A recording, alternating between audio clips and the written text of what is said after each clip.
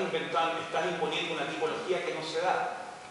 En un país donde no existe un imperio editorial, donde hay efectivamente trabajo para unas personas que se dedican a la crítica, en un país donde no, no se producen suficientes exposiciones, el estatuto del curador va a ser una autodesignación.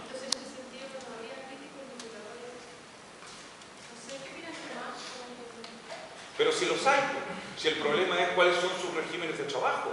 Pero claro que hay historia del arte en Chile. Otra cosa es si nos parece que es correcta, incorrecta, consistente o inconsistente. Pero claro que la hay. Eh, Valdemar Sommer escribe implícitamente la historia del arte chileno. Claro que sí. La crítica de manera mediada o no mediada está escribiendo la historia implícita del arte chileno. Estamos interviniendo en eso. Eso es evidente. Pero tratar de instalar una tipología, o poco menos que acreditar a través de un certificado, te va a resultar difícil. Te va a resultar difícil. Porque finalmente eh, eh, el espacio crítico es una, es una operación editorial con sus leyes y como la editor, el, espacio editorial chileno es muy artesanal, preindustrial, bueno, es lo que es nomás. Una posición.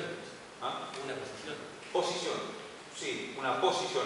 Como uno podría decir, una posición académica, Solo que había a veces académicos que tienen esa facilidad o flexibilidad como para operar en distintos campos a la vez. Entonces tú los encuentras siendo académicos y, siendo, y ejerciendo un rol de crítico.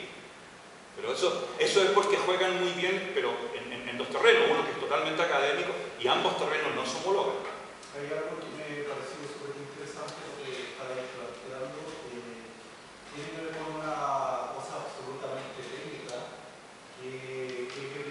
Bible